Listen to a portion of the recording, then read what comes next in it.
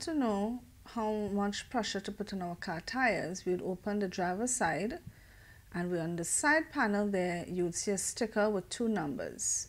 Now that represents your front tires and your back tires respectively.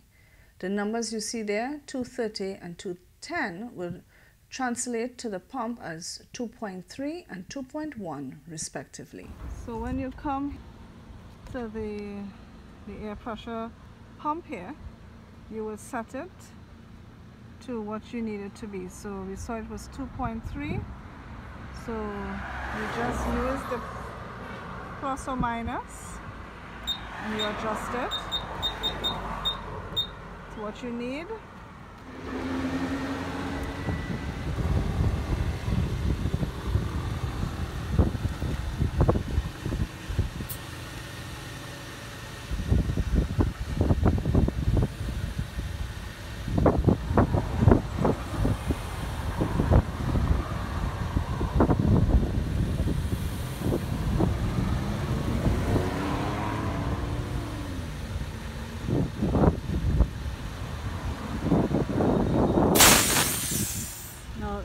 Notice it made a sound that sound tells you that it has reached the required pressure.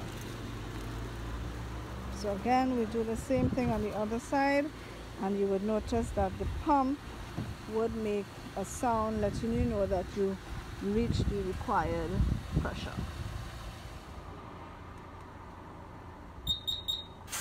So again that sound tells you that the tire has reached it is its required pressure.